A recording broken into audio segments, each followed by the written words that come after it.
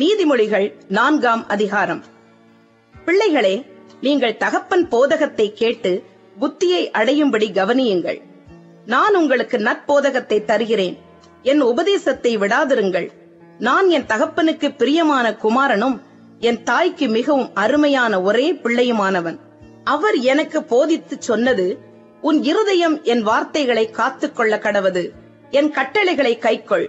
அப்பொழுது பிழைப்பாய். ஞானத்தை சம்பாதி புத்தியையும் சம்பாதி. என் வாயின் வார்த்தைகளை மறவாமலும் விட்டு விலகாமலும் இரு.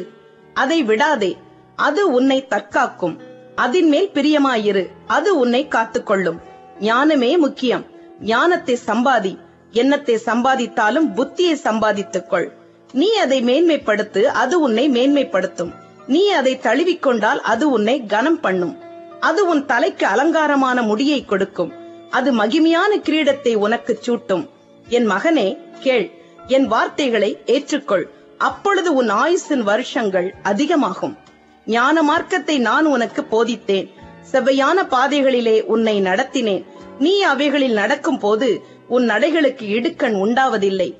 நீ அவைகளில் ஓடினாலும் இடரமாட்டாய் புத்திமதியை உறுதியாய் பற்றிக்கொள். அதை விட்டு விடாதே அதை காத்துக்கொள். அதுவே உனக்கு ஜீவன்.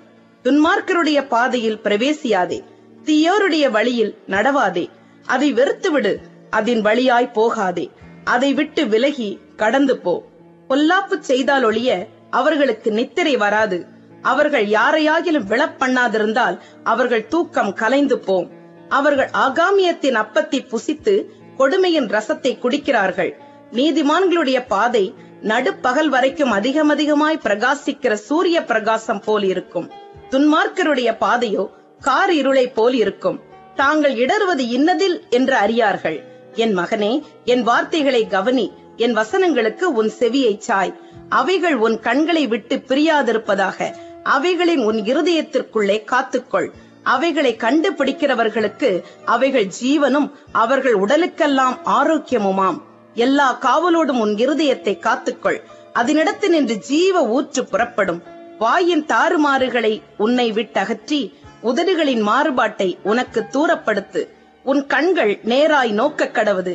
உன் கண் இமைகள் உனக்கு முன்னே செவ்வையாய் பார்க்க கடவது. உன் கால்நடையை சீர்தூக்கி பார். உன் வழிகளெல்லாம் நிலைவரப்பட்டிருப்பதாக வலதுபுறமாவது இடதுபுறமாவது சாயாதே. உன் காலை தீமைக்கு விளக்குவாயாக.